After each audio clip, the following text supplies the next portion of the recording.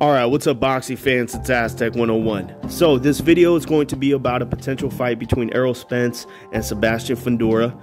Uh, this fight is supposedly set for, Octo- for October, according to Mike Coppinger. I think he's the one that broke the story. So, uh, Fundora versus Spence sounds like a really good matchup. I'm just a bit confused with what's going to happen with the WBO. From my understanding, um, Crawford versus Madrimov is for the WBO interim, right? And the main reason why they have this interim fight is because Fundora, who has the WBO World Championship title, he was under medical suspension.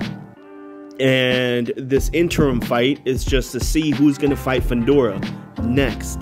So it's interesting that they're talking about Errol Spence fighting Fundora so I don't know what's going to happen with the WBO. Will the WBO end up stripping them and just give the the title to the winner of Crawford versus Madrimov? I'm I'm going to keep an eye on what's happening there, uh, but I would suspect that the WBO is probably going to strip Fundora. Um, I'm curious to know too, what would Fundora want to do if it was completely up to him? Because I'm I feel like uh, it's the PBC side that's pushing Fundora to face Spence.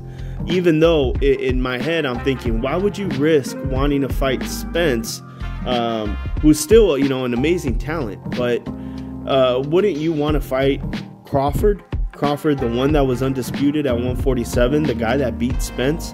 Uh, if I were Fundora, I would rather hold on to that WBO and wait to see what happens between Crawford and Madrimov before making any decision on anything.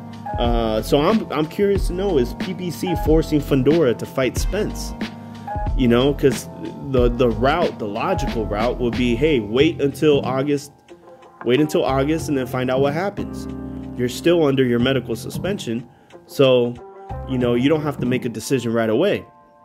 Um, but then again, why wait? Fundora, maybe he's confident in himself and he might be like, you know what? This is a great opportunity. I can go after Spence. And even if I lose the WBO, if Crawford wants to unify with the WBC, he's going to have to go through me.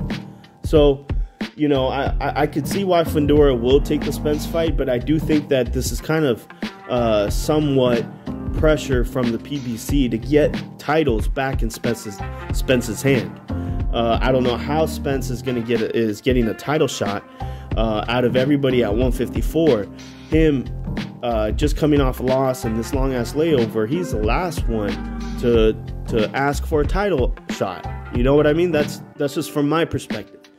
Um, but I do think that it's a fun fight. I'm not mad at the matchup. I'm not mad at the matchup at all. You guys let me know. What do you think? Uh, do you think that the WBO will strip Fundora, or will they allow him to keep the title? Uh, maybe give him an exemption uh, just for this fight alone, and then whoever wins the, the the fight will have to face, will be forced or mandated to face Crawford or Madrimov, whoever wins there. Uh, you guys let me know what do you think? How do you feel about the 154 pound division? And who do you think, out of all the fighters that are creeping up to the top, who do you think is uh, going to walk away as undisputed at 154? This is Aztech 101 in the ring, and I'm out.